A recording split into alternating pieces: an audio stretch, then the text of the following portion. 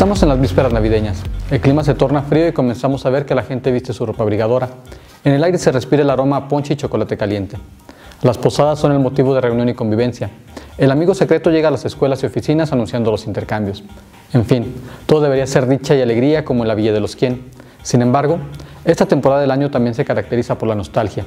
La ausencia de uno y la distancia geográfica o emocional, entre otros, precede a esas crisis emocionales que nos llevan a entonar villancicos como ese de José Alfredo que dice Diciembre me gustó para que te vayas, o el otro del Buki, donde canta que llega Navidad y yo sin ti.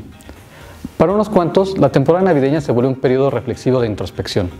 Echar un vistazo hacia atrás y ver qué hemos logrado, darnos cuenta de dónde estamos parados y pensar si realmente es donde queremos estar.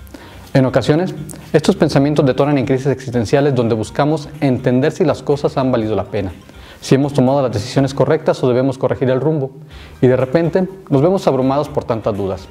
Si usted se reconoce inmerso en esta neblina, permítanme entregarle un par de cuentos que pueden ayudarle un poco. El primero es para los escépticos, cortesía de Alfonso Reyes.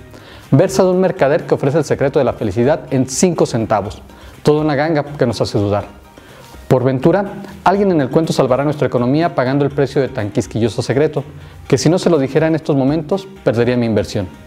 Así que solo le dejo el título, El vendedor de la felicidad, que lo encuentra en alguna antología de cuentos del propio Reyes. La segunda recomendación es para aquellos que ya no andan sobrados de fe. Se titula El silencio de Dios, escrito por Juan José Arriola. En este, el personaje describe su sentir asumiendo que no es el único y busca además un igual que haya salido de semejante abismo y pueda entregarle respuestas. Sin embargo, sus quejas van dirigidas hacia Dios y es este quien le responde. En lo personal me gusta este cuento por la forma en que Arriola le da voz a este ser supremo, que deja a un lado su omnipotencia para hacerse entender ante el quejumbroso. Son estas las recomendaciones para estos días en caso de que usted se ponga reflexivo. Espero las disfruten. Hasta la próxima.